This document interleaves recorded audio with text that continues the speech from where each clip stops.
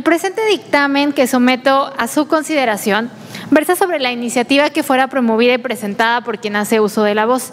Dicha acción legislativa tiene por objeto exhortar de manera atenta y respetuosa al doctor Luis Antonio Ramírez Pineda, director general del Instituto de Seguridad y Servicios Sociales de los Trabajadores del Estado ISTE, para que en atención del interés superior de la niñez funde y motive las razones que fueron tomadas en el proceso de reorganización administrativa de los servicios de bienestar y atención infantil se salvaguarde la función que venía prestando y se considere el respeto a los derechos humanos de los trabajadores. Ahora bien, quiero precisar que la Ley General de los Derechos de Niñas, Niños y Adolescentes establece que el interés superior de la niñez deberá ser considerado de manera primordial en la toma de decisiones sobre una cuestión debatida,